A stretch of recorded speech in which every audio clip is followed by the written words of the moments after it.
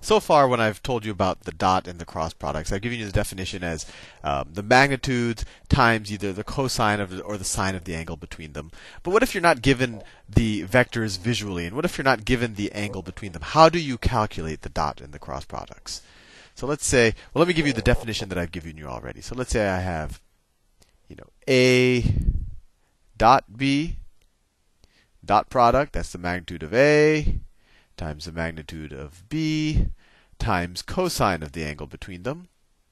a cross b is equal to the magnitude of a times the magnitude of b times sine of the angle between them, so kind of the perpendicular projections of them, times the normal vector that's perpendicular to both of them, the normal unit vector, and you figure out whether it's either, you know, which of the two perpendicular vector it is by using the right hand rule.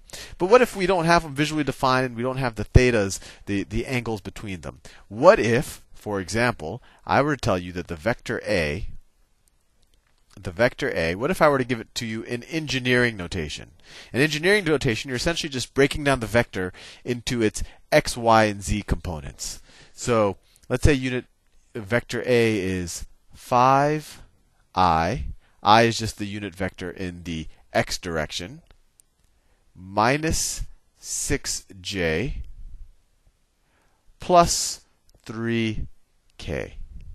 These are all i, j, and k are just the unit vectors in the x, y, and z directions, and the and the five is how much it goes in the x direction. The minus six is how much it goes in the y direction, and the three is how much it goes in the z direction. You could try to graph it, and actually, I'm trying to look for a graphing calculator that will that will do this. So I can show you all in videos to give you more intuition. But let's say this is all you're given, and let's say that b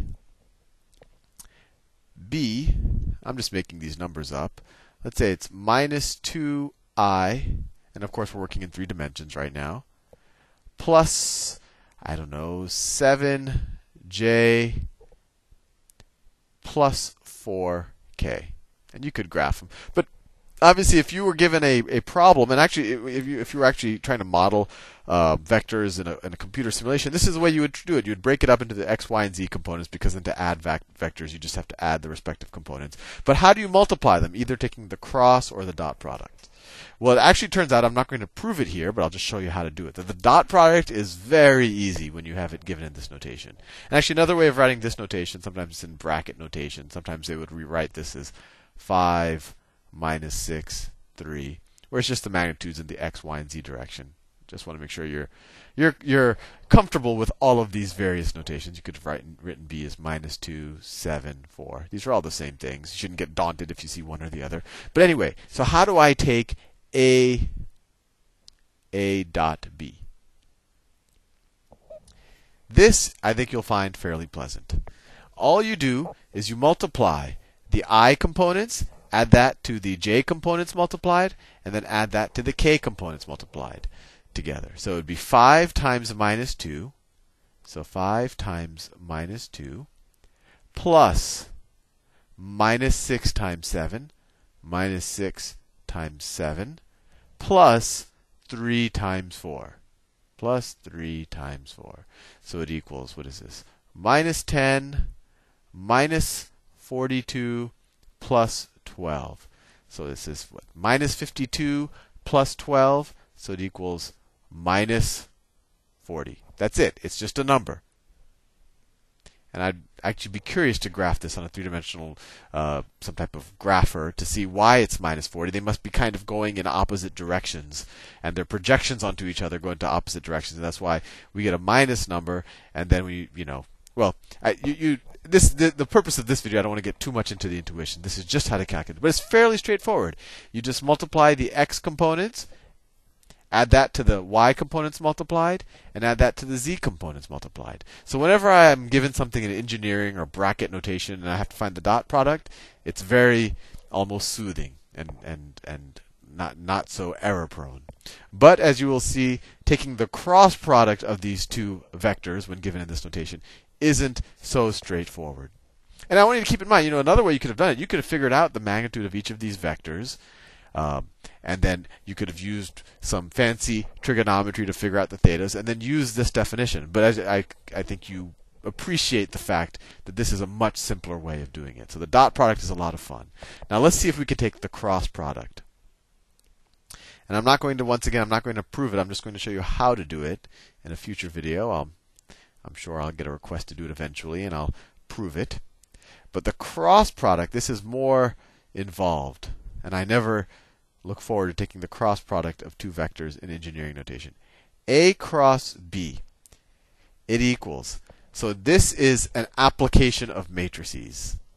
So what you do is you take the determinant. So I'll draw a big determinant line. On the top line of the determinant, and this is really just a way to make you memorize how to do it. Um, it doesn't give you much intuition, but the intuition is given by the actual definition. It, you know, how much of the vectors are perpendicular to each other, multiply those magnitudes, right hand rule figures out what direction you're pointing in. But the way to do it, if you're given the engineering notation, you write the i, j, k unit vectors in the top row. i, j, k. Then you write the first vector in the cross product because order matters. So it's 5 minus 6, 3. Then you take the second vector, which is b, which is minus 2, 7, 4. So you take the determinant of this 3 by 3 matrix. And how do I do that?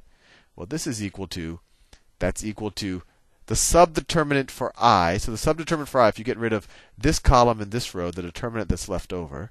So that's minus 6, 3, 7, 4 times i. You might want to review the determinants if you don't remember how to do this, but maybe me working through it will just um, will will jog your memory. And then remember it's plus minus plus. So then minus the subdeterminant for j. What's the subdeterminant for j? Well, you cross out j's row and column. So you have 5, 3, minus 2, 4.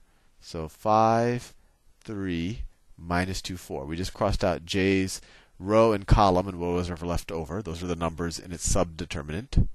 That's what I call it. j plus, I always I want to do them all in one line because it would have been a little bit neater. Plus the subdeterminant for k, cross out the row and the column for k.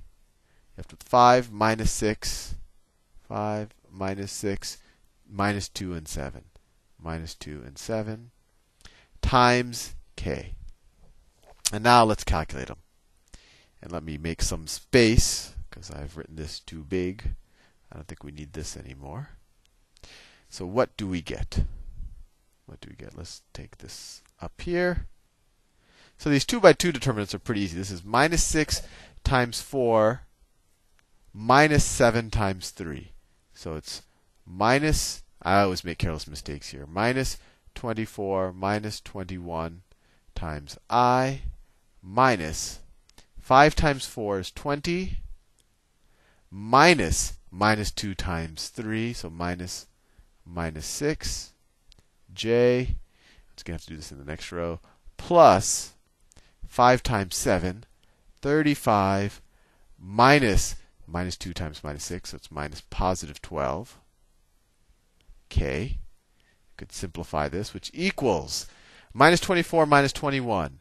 It is minus 35. I didn't have to put a parentheses. i.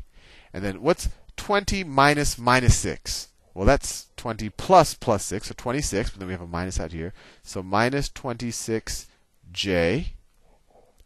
And those 20, 35 minus 12, that's 23, plus 23k.